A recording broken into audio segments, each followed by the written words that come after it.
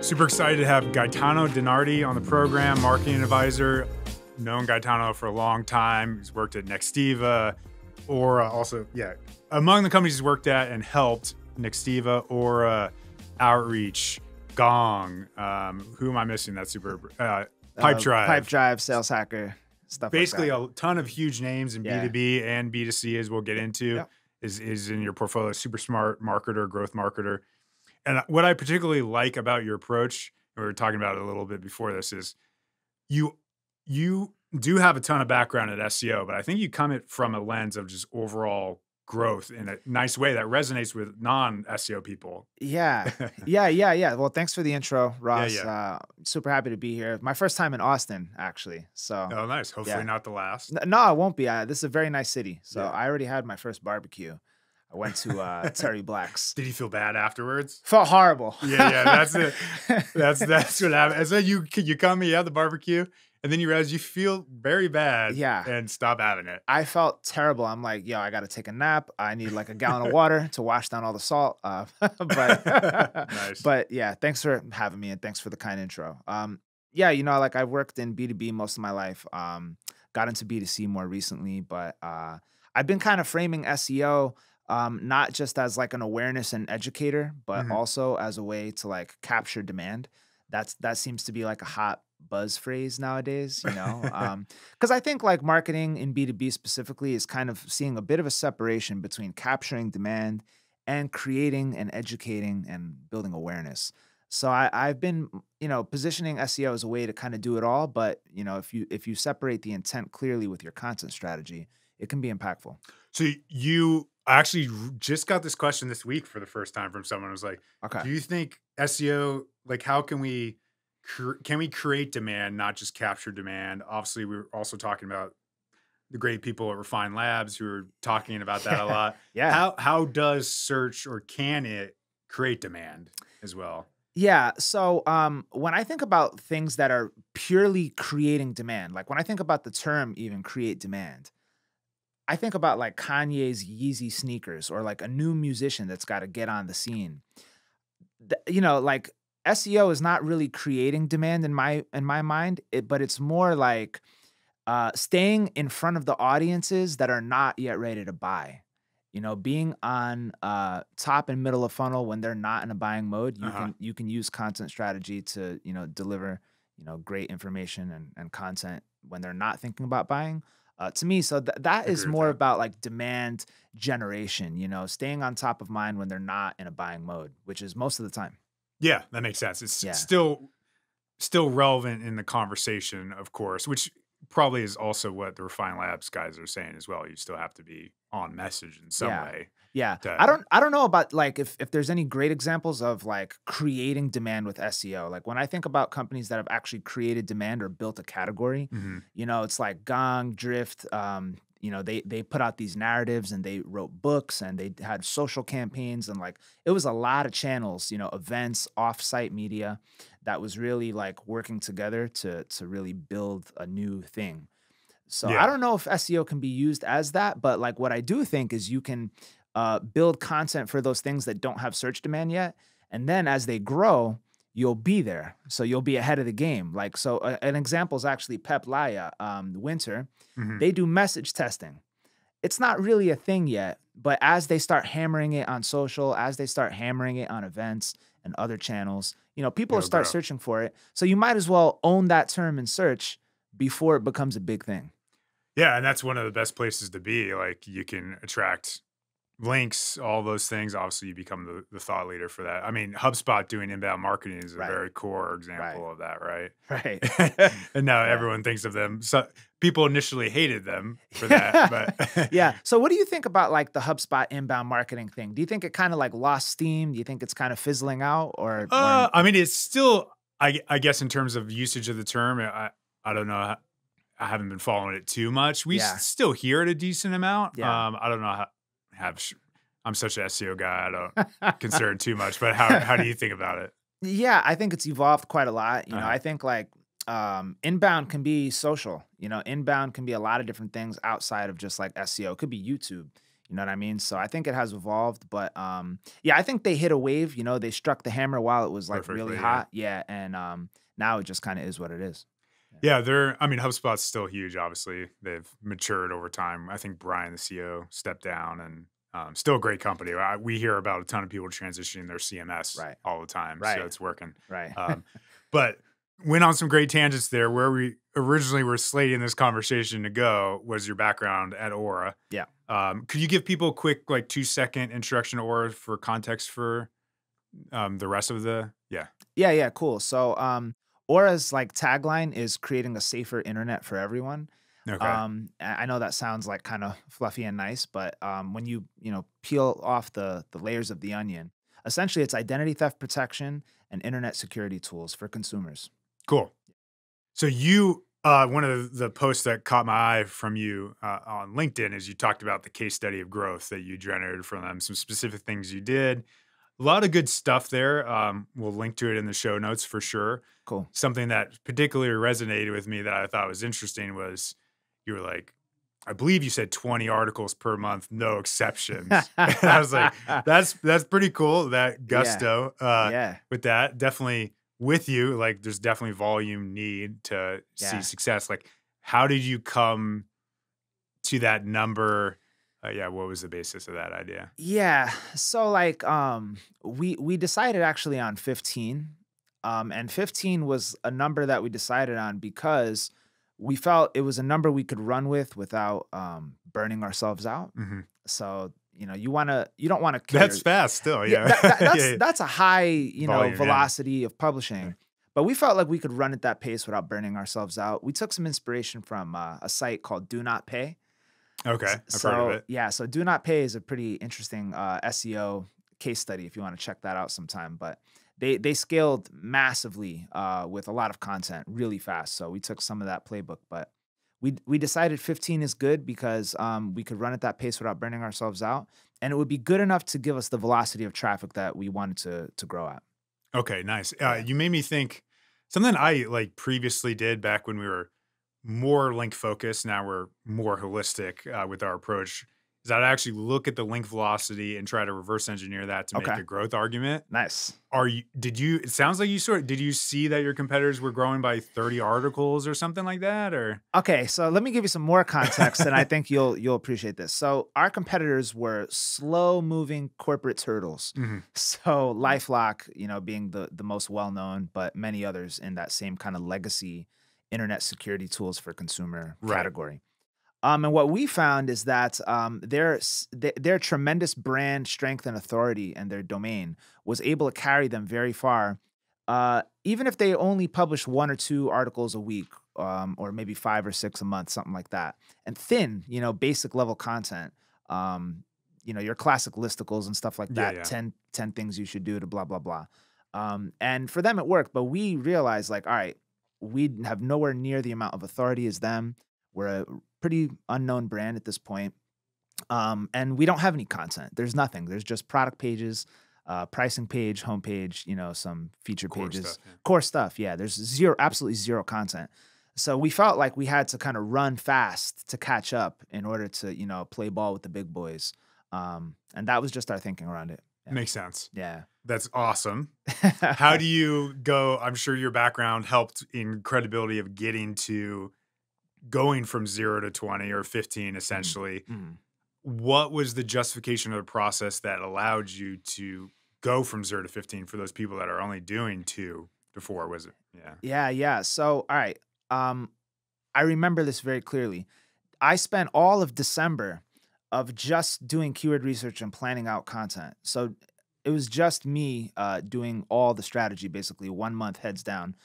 And I, I was moving lightning fast. I was listening to sales calls. I was studying competitors. I was doing everything I could to figure out like how are we going to strike back, um, build some traffic, and not get stuck because we're you know targeting topics that are too competitive. Because this is an insane space. Like not only do you have your direct product competitors, but you have CNBC, you have FTC.gov, you have IdentityTheft.gov, Social Security Administration.gov.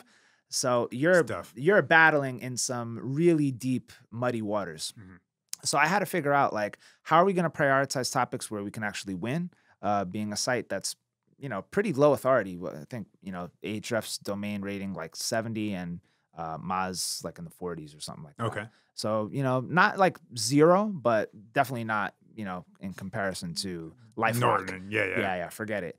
So, um, yeah. So basically, to summarize that point, it's I spent all of December of December uh, preparing for this attack, um, and without doing that, I don't think we we would have been able to run because we we knew exactly what we are going to do, exactly how we were going to do it. So we had all that mapped out. Smart. Yeah. In terms of like this publishing volume, so it's that just to clarify, you were doing 15 and sometimes 20 or yeah, F- 15 mostly to, 15. 15 to 20. Yeah. Okay. Yeah. Yep. And uh, if from your posts, you the way it was described of how you were creating this was essentially, and correct me if I'm wrong, for the most part, kind of a freelancer army that you leverage. I was Yes. like thinking about this in sprinting, moving fast, freelancer army. yes. What was the team infrastructure like? How did you make that work in practice? Oh yeah. Okay. So it was me and one uh, content marketer as like the core pieces, and then an army of freelancers. Exactly. Okay, yeah. and so so we uh, found people who were writing about identity theft, but more in like a journalistic style, and we just taught them how to write SEO. And through our editorial mechanism, we were able to take like their knowledge and and writing um, kind of how do I put it? Their their writing quality because these are good quality Yeah. writers, and then just train them on our style. Um, and then we took some we we tried you know some classic B two B content writers who like you know just wanted to try some stuff. We you know we did some experimentation. Mhm. I'll, I'll be honest, not all writers could get it. We had to cut you know quite a few, but um, yeah, we just basically went through trial and error with writers. And and the the structure was me, one content marketer, uh, one line editor Okay. uh, for like grammatical accuracy, um, content structuring, that type of thing. Yeah. Yep. And um, we once we got into a good groove, we had about ten freelance writers. Okay. Nice. Yeah. It's kind of the. How long did it take you to get ramp up to that volume? Uh, I would say it took. So here's another important uh, uh, piece: is that um, I personally wrote a couple to show examples of what I Okay. expect, and that was key. So also the other content marketer, um, I'll shout him out, Jory MacKay. He's a beast. He's Okay. incredible. Probably the, probably the best content marketer like I've ever worked with. He- he's he's so good. Um, anyway, so me and him uh, wrote pieces ourselves, um, and then we showed that as an example of what we expect Okay. in terms of structure, in terms of you know in depth, comprehensiveness, quality, all that. Um, and we had, and once we felt that that these writers were going to be in it for the long haul, we had them like talk to subject matter experts on the team, talk to our product marketing team, um, listen to sales calls, stuff like that. So Cool. Yeah.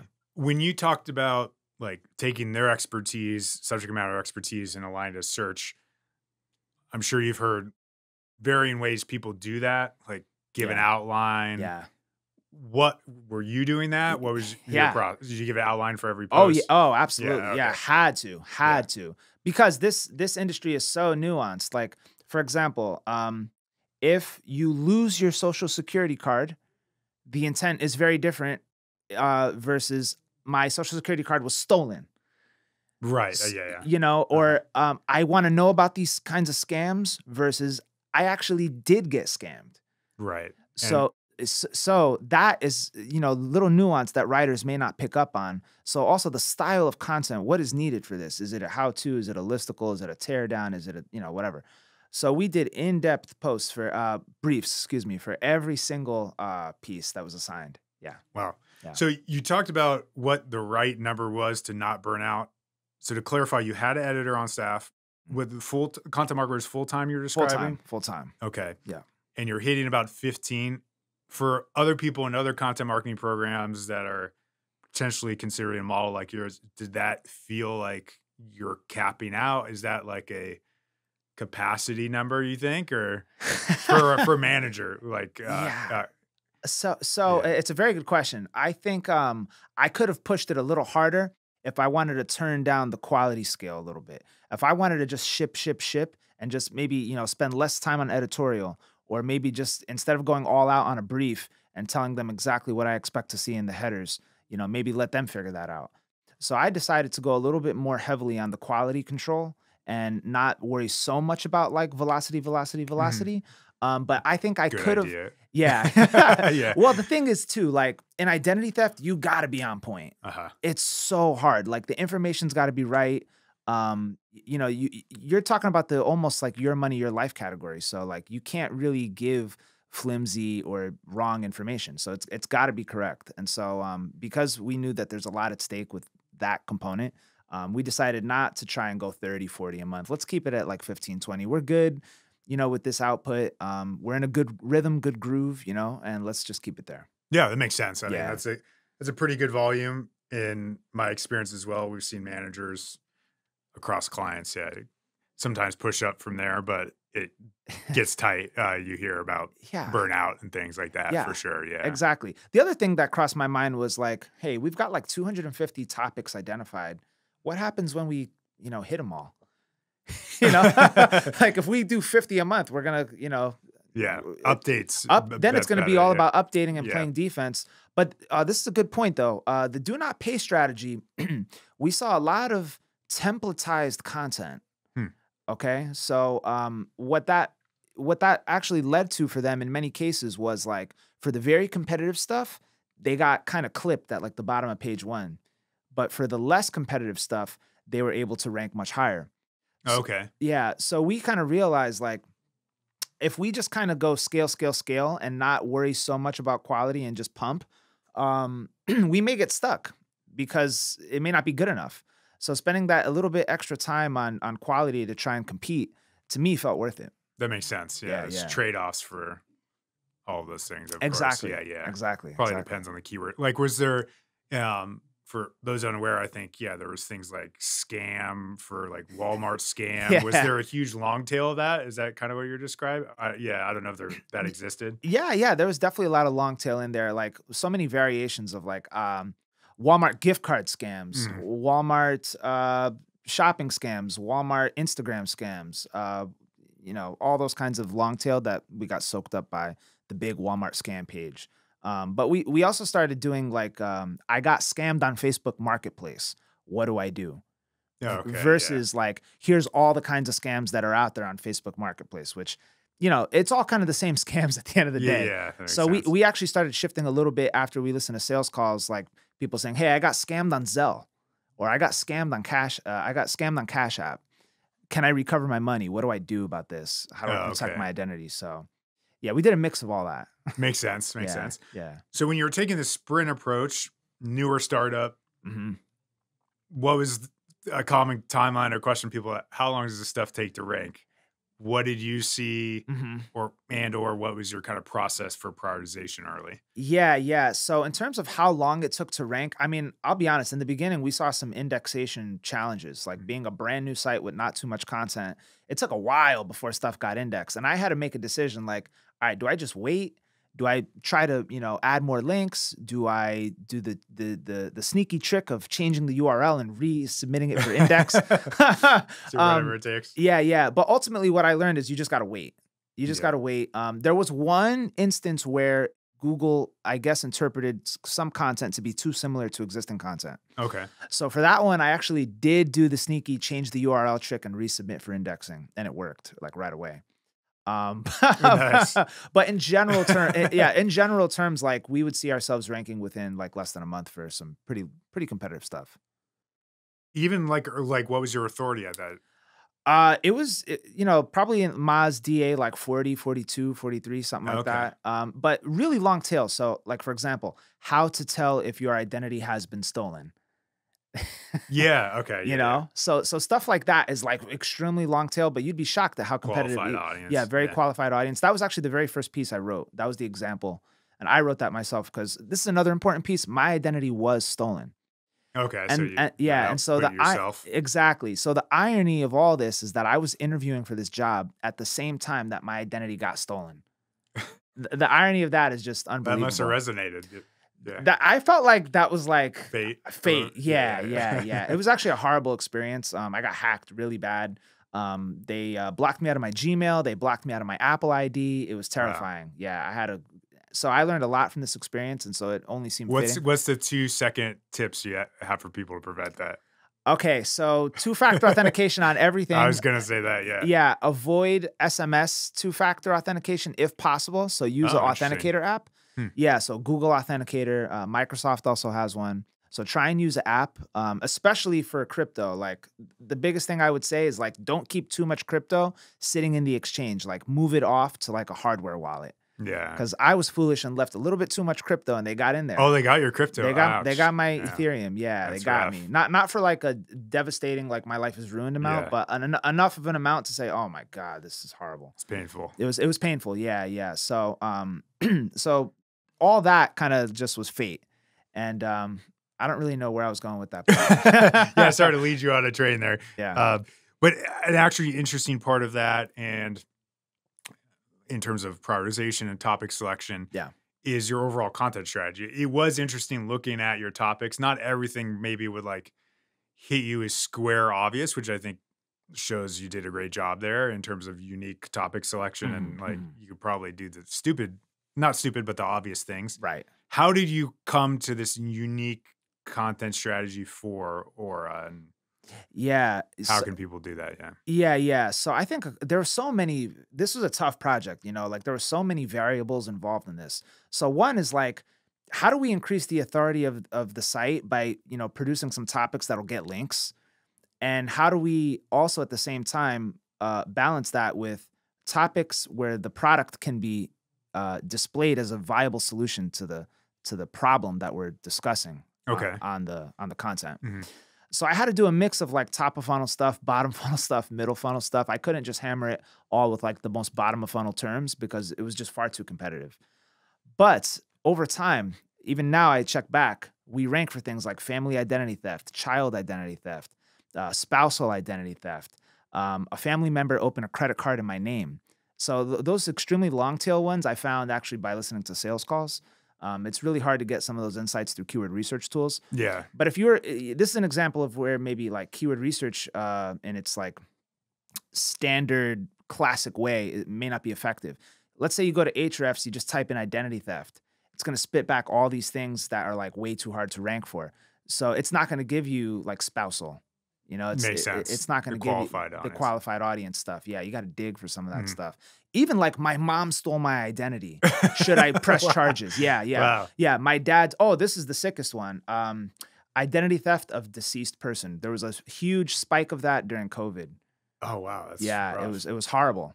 Um, so I so those were the heavy hitter topics. Um, the things that were like kind of fluffy and light, but we did for links is like PPP loan fraud. Okay. Y- Okay, so Yeah, like yeah. big, huge topic. We got a lot of links from stuff like that. Um, yeah, so I have this rubric. Uh, I borrowed it from Ahrefs actually, but like the idea is like if you can make your product like a direct solution to the problem, it's a very high priority. If it's something like PPP loan fraud where you cannot talk about the solution at all, then it's a zero. So three, two, one, zero.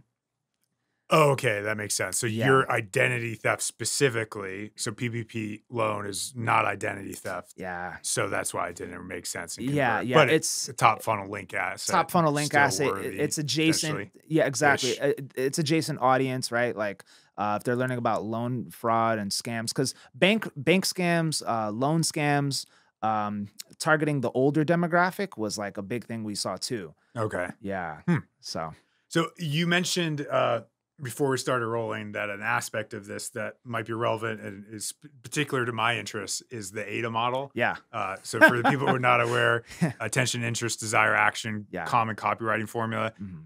You just got off uh, CXL Live's conference here in Austin with a take on that. What what Yeah. is that? How does that tie in? Y- yeah, yeah. So I basically challenged that model, you know, because how do you get inside uh, and decide of a customer eh, of how am I? How do I know if this is interest? you know, it's like kind of Yeah. hard, you know, especially if your identity hasn't been stolen. Like my identity was stolen, so I know, but um, it's hard to like get into that, you know, mindset. Yeah, you can kind of tie certain things to keyword like formulas, like uh, decision might be how much does X cost, or is is identity theft protection really worth it? Okay. Okay. Um, we decided to take a different approach and use that kind of rubric I just talked about, where like if your product can be mentioned um, as like the core solution, then it's a very high priority. So I'll just actually read off some examples to you, um, Ross, just so- Sure. so, so this can come to life for the audience too.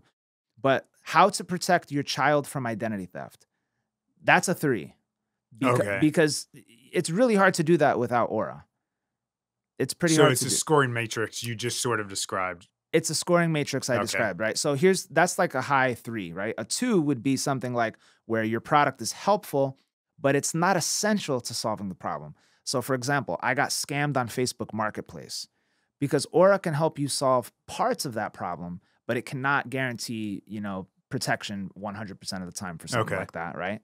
So then a, a one, a level below that, is where your product can only be mentioned sparingly or as a minor part of the recovery process. So, for example, how do scammers steal credit card numbers? Okay. Okay, that's that's more of um, an awareness and educator because people may not be aware of all the ways scammers would steal credit card numbers. But it feeds kind of into the Aura product because we can alert you if suspicious activity is happening uh, in your credit card. Cool. Yeah. Someone on our team might have subconsciously seen something. I don't know where you originally brainstormed this. So we we have something called keyword opposition and benefit analysis. oh yeah, this is great. So thank you. Yeah. Uh, so it's traffic value against difficulty. Right. But one thing we've done recently that we realized was a failability of this is traffic value obviously is relatively arbitrary to each individual business and Mhm. who's monetizing that topic. Mhm, mhm. So what the PPP loan fraud could make a shit ton of money for someone, but if we prioritize blindly, we wouldn't that wouldn't be worth 50k a month. right. So we actually also created a 1 to 3 score, Ah. which is called relevancy score. Beautiful, Yeah. Yeah, relevancy score. Yeah. yeah. And just multiply most relevant stuff by 3, Beautiful. less relevant by 2, and least relevant by 1 to That's like, amazing. get further. Uh, Yeah. It's kind of funny we came to the exact same score. So- Yeah, yeah, no, that's amazing, and that, I think the PPP loan is like a perfect example of like where that may even have a high cost per click because Mm-hmm. I think the traffic value thing comes from like the estimated cost per click, if I'm not mistaken. Correct, yes. Okay, so something like that will have huge traffic value, but like you said, low relevancy. Uh, you'd be surprised to see that some of these things that were extremely bottom of funnel for us had like very low to zero CPC. Yeah, it makes sense. yeah. I mean, even in B2C market, I mean, I see Yeah, that a lot in B2B markets yeah, for yeah, sure Uh, yeah. But B2C is more obscure sometimes.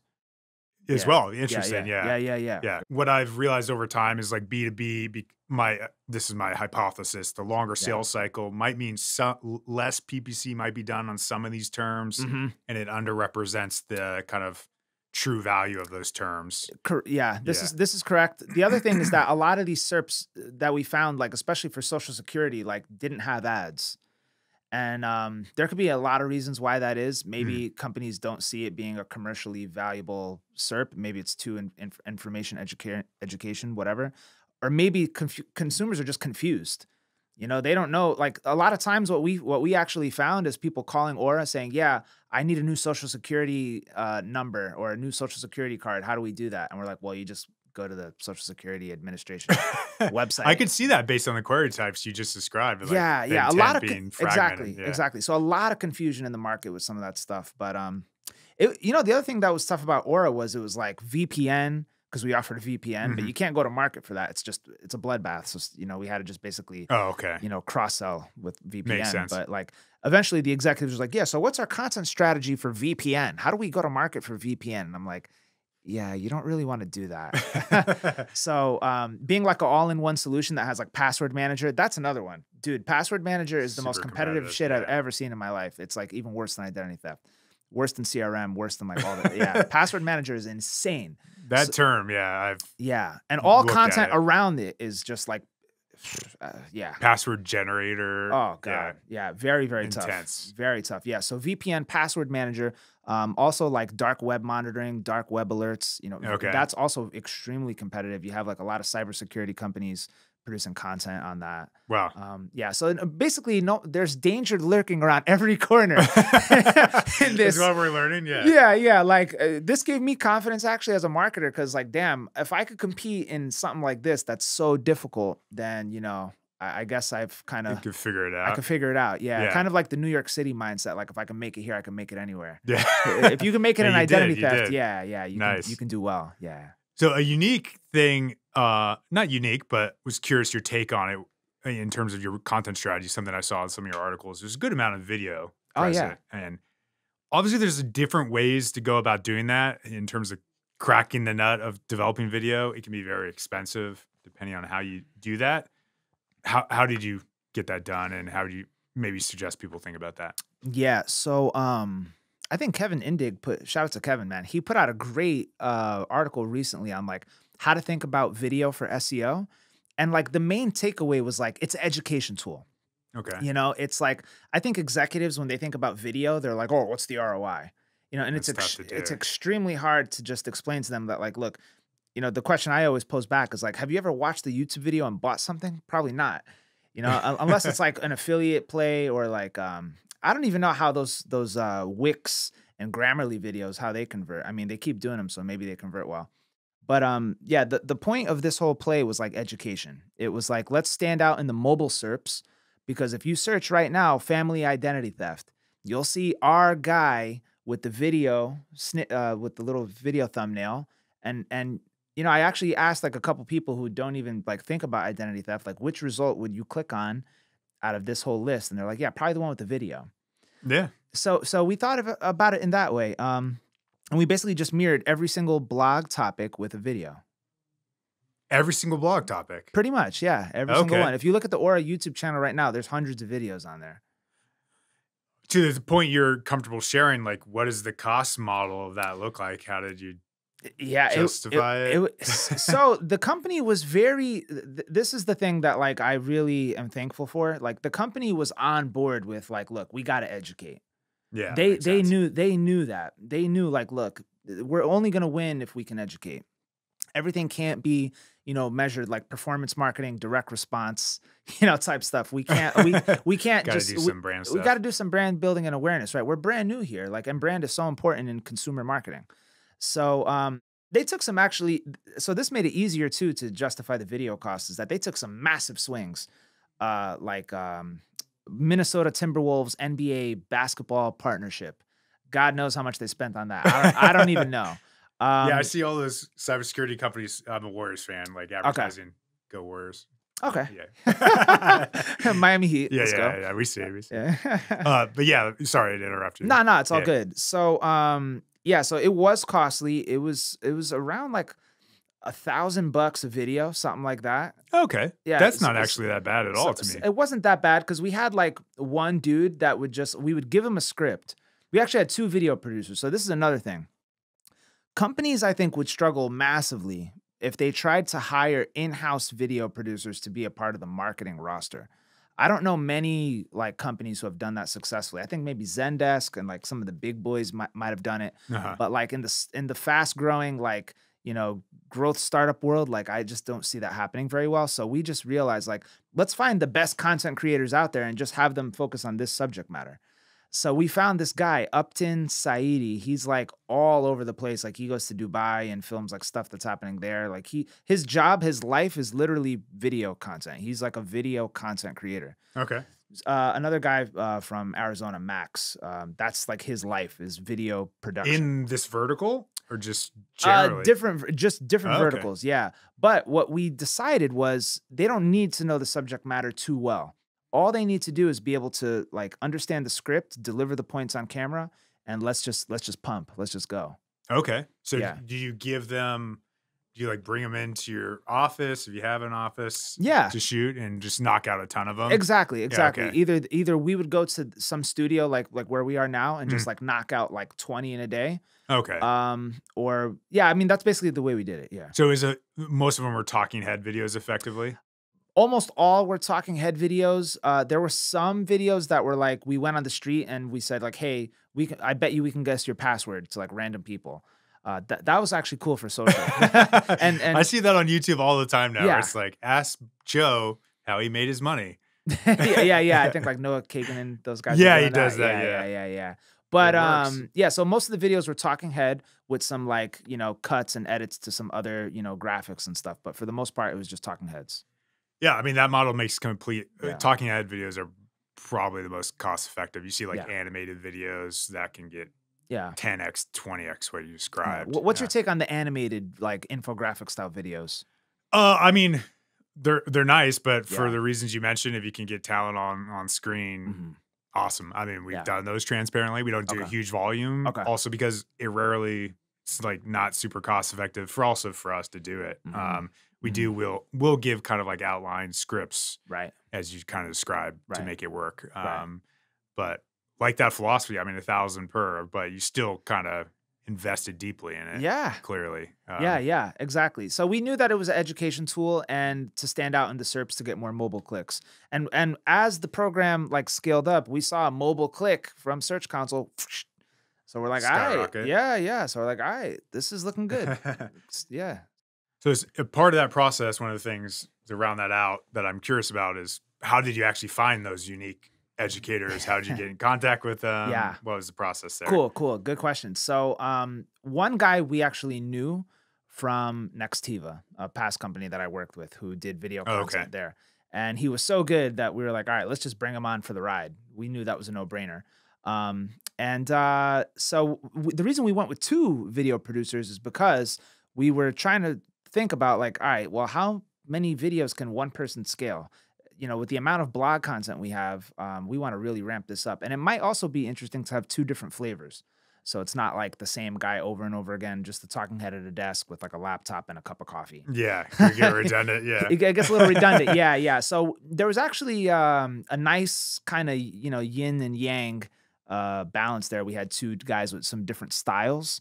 Um, so finding the other guy was kind of tough. We just actually went to like TikTok and YouTube and just started searching stuff and like looking for people who were impressive. Okay. And, and we we narrowed it down to like a couple people, and then we we reached out to them, and then you know this one guy was like really hungry to work with us. He said like, yeah, his family got scammed or something like that, and like he really believes in what we're doing and wants to be a part of it. Uh, we did a pilot, and it was really good, and we're like, all right, boom, this is the guy. So now we got our two pieces in place here. Okay. let's just run with it. so was it just uh did you find someone with like a huge subscriber count? yeah, Oh, okay. Yeah, yeah. He, he so this guy, uh, Upton, he has a very big subscriber count on YouTube, TikTok, Instagram, LinkedIn. I mean, this guy is just he's a he's a machine. He's a content creation machine. And- Okay. And, we we wanted somebody that was passionate about content creation, somebody that lives and breathes this, not some like slow moving corporate video production company that's gonna, you know, just like not Nine move at the pace we yeah. want. Yeah. We wanted somebody that was gonna just be agile, easy to work with, gets it, can take a script, realize like internalize it, take out the key points and just boom, go go deliver. what is interesting there to me is like by nature, huge subscriber count would say expensive to me.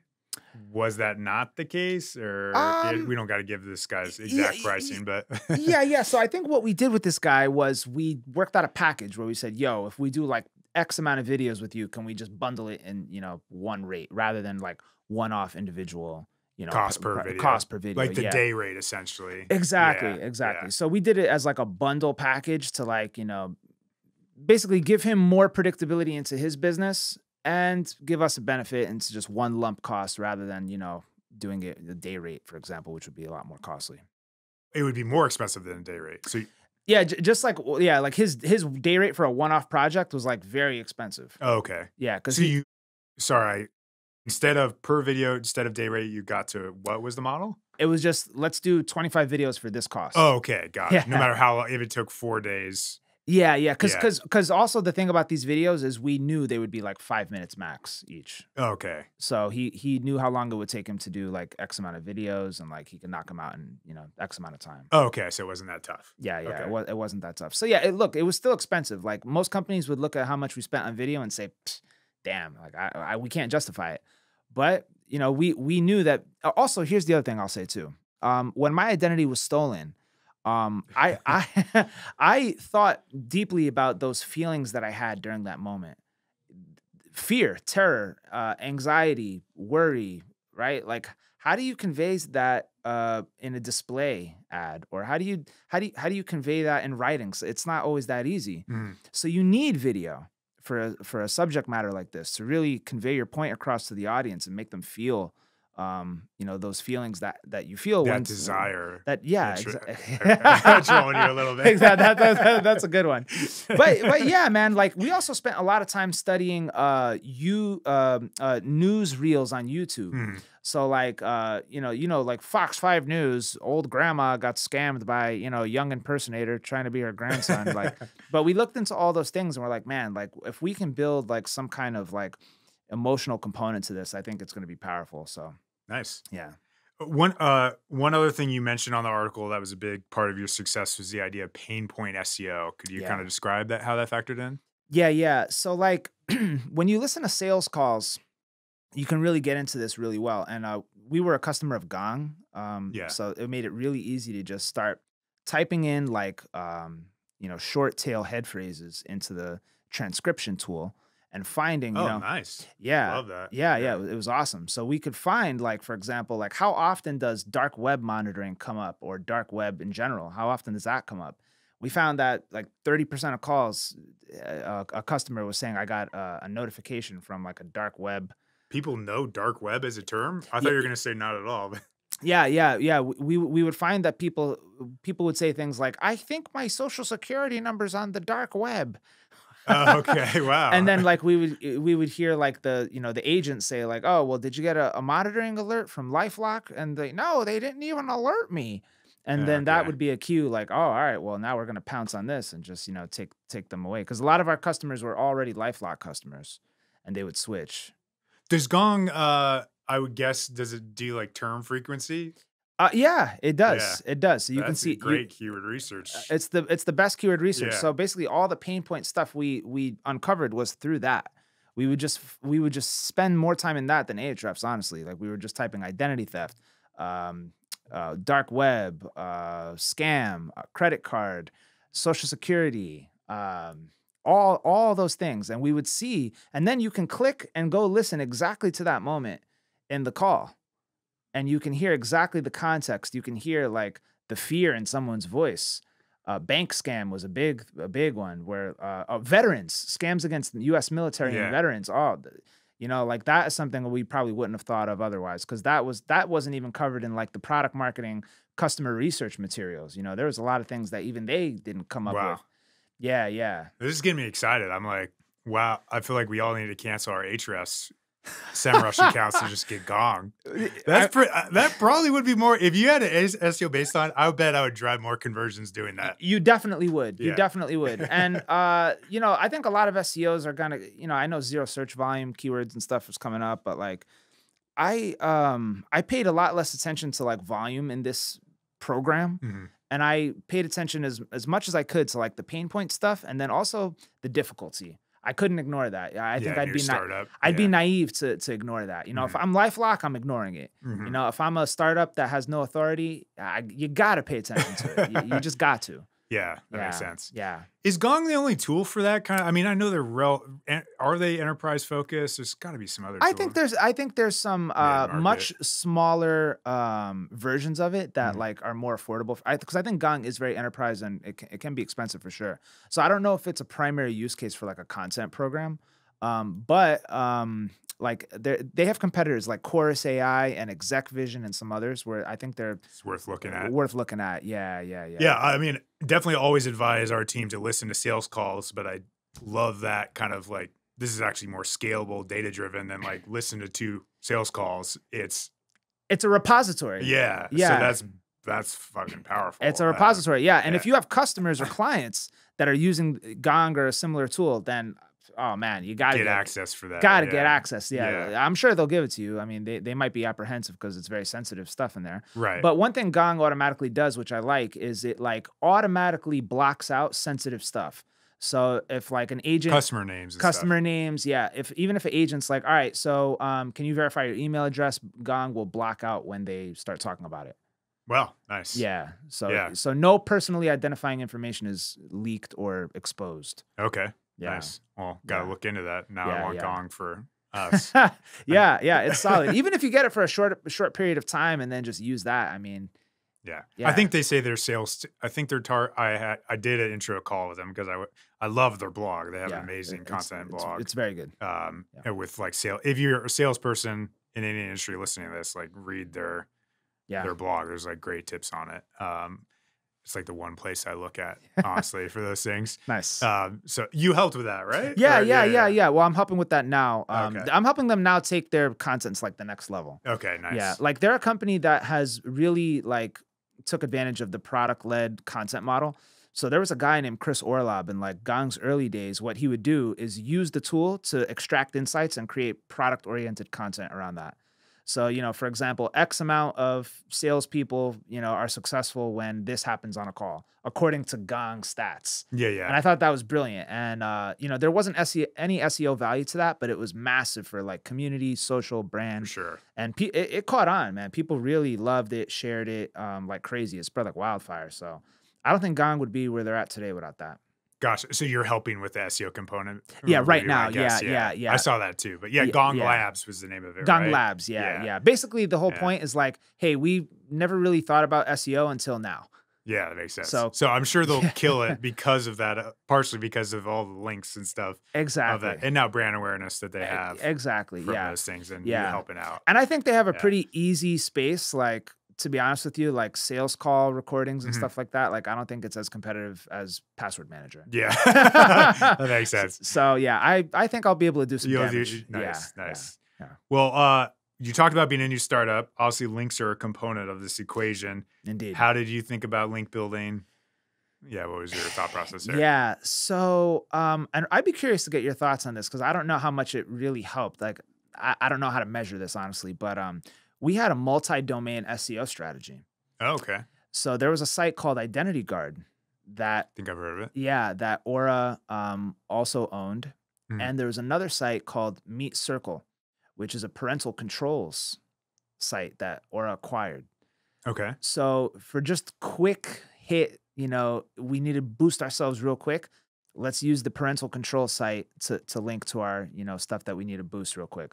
Let's go to the identity guard site and find relevant anchor text and add some links. That was Smart, yeah, I think it Yeah. So sense. uh, a, a lot of companies use that model, like Freshworks. You know, they have a multi-domain SEO strategy, and they they do that. So that was the first kind of easiest, lowest hanging fruit. Like, let's just get some links. The next phase of it was let's hit up all our affiliate partners. Okay. Because in the uh, identity theft space, uh, affiliate is massive. It is absolutely massive. So like security.org, US News, like all those sites. Okay. So we hit them up for links as much as we could. Also, some smaller affiliates, we we hit them up for links as well. Um, the Minnesota Timberwolves, so all the all the sponsorship partners, uh, South by Southwest. Okay, nice. You know, we did an activation. Like, Yeah, so in. B two C, that we don't do campaigns really. We do activations. That's a slightly different terminology, Mhm. but like they they they don't go to an event thinking how many leads am I going to get. They go to an event thinking, are we going to make the biggest noise and get the most attention and get the most amount of press? Okay.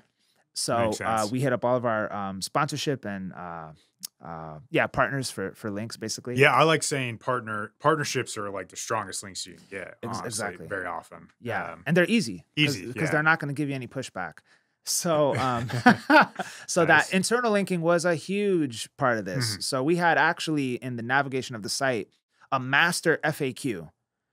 So a master FAQ about um, not just like the product and like how does this work, how does that work, but also things like um, all things pertaining to the content categories that we were creating. okay. And we would link uh, from that master FAQs page directly to the content pages we were creating. So I believe that helped a little bit because given that it's in the master navigation and it's prominently placed on the site, you know, it's got to give some good link authority to those other, you know, longer Yeah, tail pages. for sure. So so internal linking as well. And then the the the component that's hard about link building is actually like finding uh people who are not in our immediate friend circle to help us out. So that required us doing um, a little bit of outreach, not not um, like cold outreach through through um, email or anything, but just like using my connections on LinkedIn, uh, the, Oh, okay. the, the CEO's connections Mhm. on LinkedIn, even like the uh, the investors and the and the board members. They were some very powerful dudes, and we we leveraged them for links. Uh, Um, getting links from investors, like some of those, have, they'll have like a portfolio page, Yeah. but not linked to Aura. It's an opportunity. It's an they're, like, opportunity. high- super high authority. super links. high authority links. So so the investors were this group called WndrCo. Mm. And it was founded by this guy, Jeffrey Katzenberg, who is like the former chairman of Walt Disney. So Mhm. imagine his connects. Nice. Pretty insane. Yeah. So we got basically links from all the WndrCo partner sites um, and portfolio sites, which was really big. Nice. And um, like I'm trying to think what else we did for links. Um, yeah, just your classic like, you know, homies in, in adjacent verticals, like, Okay. you know, yo, we're doing this. Can you help us out? You know, blah blah blah. that kind of thing. That kinda scale thing. it out. Yeah. yeah, yeah, yeah. But um, there wasn't any link magnets, unfortunately. um, we didn't get to a point where where we created any tools or calculators or stuff like that. I would have liked to. Um, no infographics. I would have liked to do that, but we didn't. But anyway, it was a more of a one-off kind of you know laser uh targeting approach. Yeah, focus approach. Yeah. So and kind of added up. yeah, and it added up. Yeah, yeah. yeah, yeah. I think the final thing I'll say about it though, it was um, a lot of boosting from PR.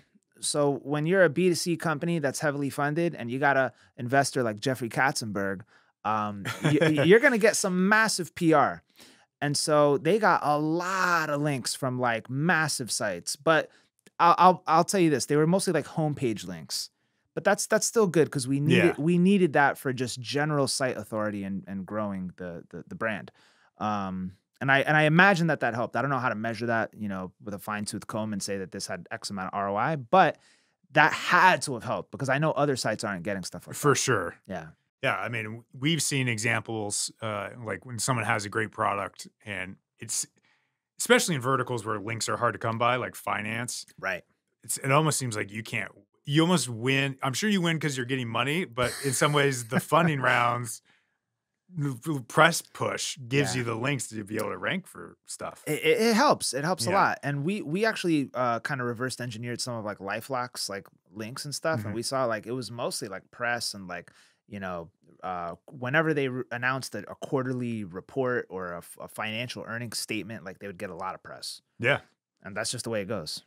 Yeah, in security, we see I mean, a lot of people taking definitions of things. Like there's so many like random, what is a VPN, Mhm. whatever. Um, maybe that was a one for you uh, in scoring, or That, oh, that- maybe actually it's higher, but don't go to market with that. Yeah, we Yeah, talked was- about it a little bit. Yeah, yeah that we we looked at VPN and password manager and we just came back to our boss and just said, yeah, like, nah, like, come on, let's not let's not go maybe that's the year ten strategy or something. Yeah, yeah, yeah. Like the, the this is I'd be curious to get your take on it, but a lot of companies now are multi-product companies. You know, they may have evolved from being mono-product to multi-product, Mm. or they were just multi-product out the gate. But should you go uh, to market for these individual product lines, or should you just dominate the flagship product and then cross-sell and expand? Yeah, that's a good question. I mean, we we have clients right now, for example, like had market dominance in one category, Right. had to keep growing, Right. and naturally are struggling in the other category. Mhm, Uh, mhm. And that's going to also pour pull from your one category. I don't know that there's a universal answer. It probably is like how dominant you potentially can be or how Yeah. good your product is. That probably could inform that. Yeah. Uh, but if you're not dominant, yeah, you're not going to have a good time Yeah.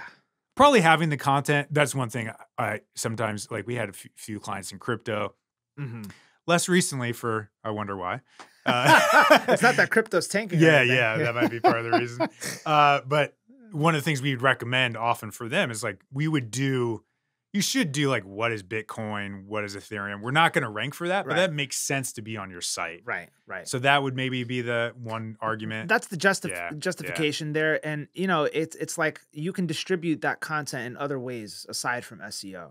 You know, you For can sure. you can use that in your um, customer emails, onboarding flows, right? Uh, social stuff like that. site architecture hopefully Site architecture, it yeah right, naturally when they're right.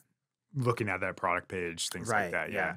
You want to guess what was our number one uh, sign up driving asset? Uh, I have no idea. Aura versus LifeLock.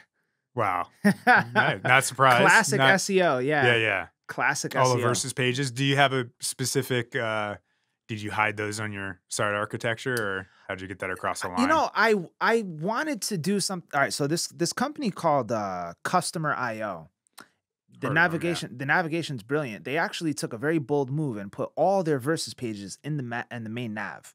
mate, top nav. Top nav. Wow, I've never seen that that's done before. gutsy. That's gutsy. They they come and you know fist to the yeah. face with that. you know, no fear. Um, so I didn't get buy-in on that, but um, I tried that. Yeah. I, I tried. Yeah, I, I tried to get it at least to the footer, and they're like, nah, nah. They, Oh. they didn't want to do it. Even the footer. huh? Yeah. So um, just through classic internal linking, I was able to get it to rank, and you know, it wasn't super competitive. So um, yeah, got it Cool. to rank anyway. Yeah, one I I often point to HubSpot. They have theirs linked as like software comparison library. Okay.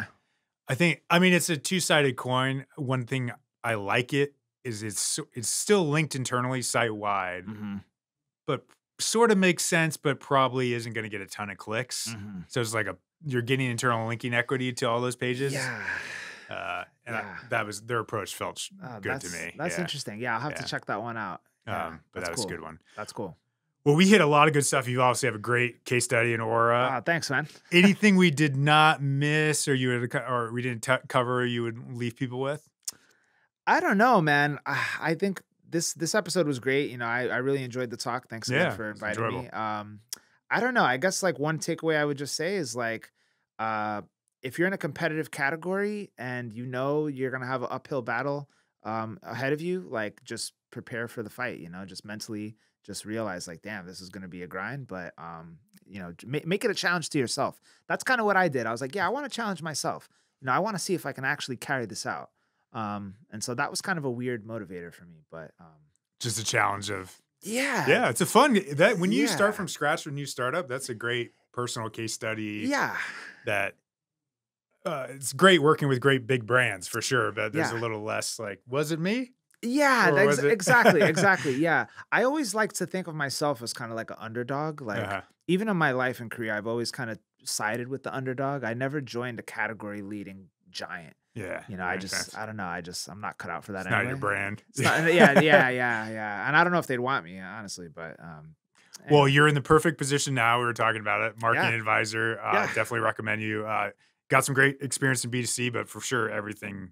I don't know. You'd say you're specialized in B2B, or what's your kind of specialties? Yeah i would say like i've been in b2b much longer obviously this uh this crazy run in b2c was like a life-changing and career-changing uh, moment for me Mhm. I, I learned a ton a lot of failures but some some nice outcomes as well but uh yeah b2b i'm pretty good Nice. Well, I really suggest everyone finds you on LinkedIn. Uh, great content there Oh, that you thank you. posted on this. We'll link to this on LinkedIn. cool Uh, so highly recommend that. And yeah, really appreciate you coming down. Hopefully, come back and uh, come definitely to Austin. Yeah, yeah i got more barbecue to eat and uh i want to more come bad feelings to have. Yeah. yeah exactly exactly so thank you ross appreciate it